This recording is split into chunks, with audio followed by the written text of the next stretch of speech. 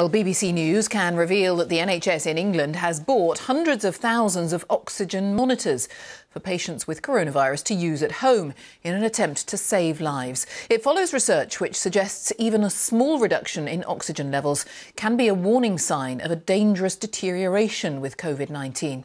The devices are being given to patients aged 65 and over and others at high risk in an unprecedented rollout. Our health correspondent, Sophie Hutchinson, has this report. It could have ended completely differently. So, you know, I suppose I do owe them my life, really. Dorset, where they've taken the fight against the coronavirus into people's homes. Lessons learned from the first wave have highlighted the danger of leaving some patients to sit out the infection alone. We have seen people who are critically low on oxygen, and we've heard stories of people dying at home because they haven't been recognised. So I do think this simple bit of kit really could save your life. The bit of kit is a small, relatively cheap device known as an oximeter, which measures oxygen levels in the blood. COVID positive patients like Michael Kerr, who are aged 65 and over or who are at risk, are now being given the devices by GPs in England and then monitored. Yep. Yeah, I'm fine. Yeah, I feel certainly. Oximeters are seen as vital because some patients with the virus are not breathless, despite having low oxygen levels.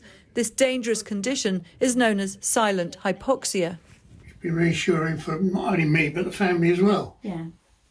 Research during the pandemic has shown that even relatively small drops in oxygen levels can be an early warning sign of serious illness. A reading of 95% and above is considered normal. At 93 and 94%, patients are now told to contact their GP or call 111. But if it's 92% or below, people are asked to recheck it and if it's the same, go straight to A&E it's like stiff upper lip, isn't it? You sort of think, I'm all right, I'll be okay, I can get on. Hospital is where Denise Nicholson ended up. She says even though she felt unwell, without the support, she would never have known her oxygen levels were dangerously low. If it hadn't have been for the monitoring service, um, I don't think it would have been picked up. I don't think that I, it would have been highlighted that I had COVID pneumonia.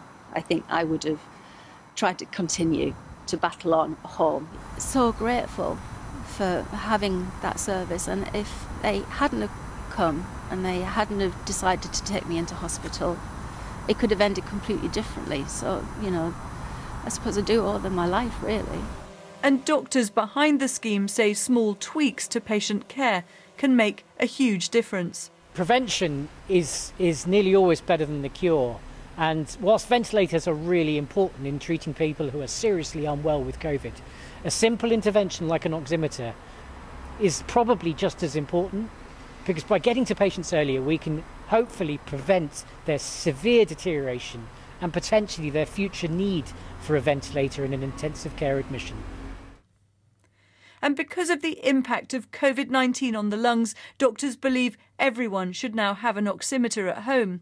They're convinced these small devices can save lives. Sophie Hutchinson, BBC News.